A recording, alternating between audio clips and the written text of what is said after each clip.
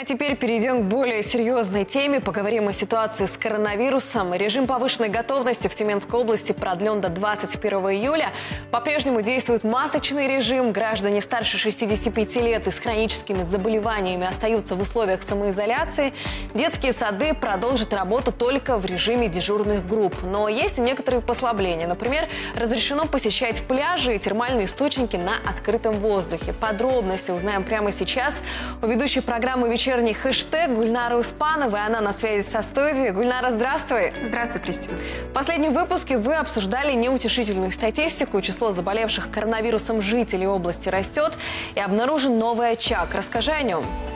Ну, новый очаг обнаружен в медгороде. Там заболел один сотрудник и 7 пациентов. Контактных 72 человека. Конечно же, а, учреждение, где обнаружен очаг, его деятельность приостановлена. Там сейчас проводится дезинфекция. Часть пациентов из группы а, контакта изолированы временно в градостроителе. Часть переведены на амбулаторное лечение. Сотрудники из группы контакта, конечно же, на две недели отстранены от работы. Также добавлю, что вчера на заседании оперштаба было принято решение о том, что лекарственные препараты для профилактического лечения будут выдаваться бесплатно членам семьи и лицам, контактировавшим с COVID-19. Их будут выписывать по рецептам, которые будут получать соцработники и волонтеры. Они уже, в свою очередь, бесконтактным способом будут доставлять их адресатам. Угу. Но также сейчас усилили контроль за ношением масок в автобусах и маршрутках. Чем грозит игнорирование масочного режима? Штрафы уже введены?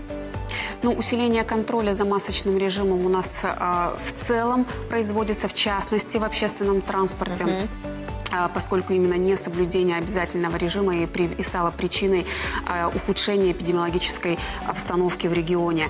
А, с 8 июля пассажиров не будут впускать в автобусы, если они без масок. Это дополнительное требование к перевозчикам, поскольку многие пассажиры не соблюдают масочный режим, хотя это требование для них было выдвинуто еще ранее. Следить за соблюдением масочного режима, скорее всего, будут контролеры, да, они, возможно, не будут успевать и обелечивать, и следить за пассажирами сразу на входе, но в течение одной остановки это реально сделать. Сейчас а, должны были разработать алгоритм действия для сотрудников транспортных предприятий. В частности, рассматривается вариант, что если пассажир отказывается надевать маску или отказывается покинуть а, общественный транспорт, то водитель может остановить автобус, и он не тронется с места, пока не будет решен вопрос с нарушителем.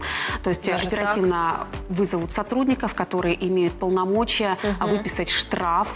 Лучше приобрести маску, тем самым сохранить свое здоровье и сохранить, скажем так, свой кошелек. Но и сделать это заранее, потому что в автобусе маску купить уже не представляется Нет, возможным. Да. А в торговых центрах идут проверки, много ли нарушений уже выявлено? Ну, с момента открытия налажена система ежедневного мониторинга. Угу. То есть ежедневно каждый из торговых центров отчитывается о соблюдении санитарных правил и о том, если есть нарушения со стороны а, арендаторов, если есть нарушения со стороны руководства торгового центра, то есть о всех проблемах, которые возникают. А, всего за, время, за все время было проверено более 300 торговых объектов. Нарушений, которые требовали бы закрытия торговых центров на сегодня есть есть нарушение каких-то санитарных правил. В основном э, эти нарушения допускают сами арендодаторы, и они несут за это административную ответственность. Штраф до 500 тысяч рублей за нарушение санитарных норм и правил, от 100 до 300 тысяч рублей за нарушение требований режима повышенной готовности.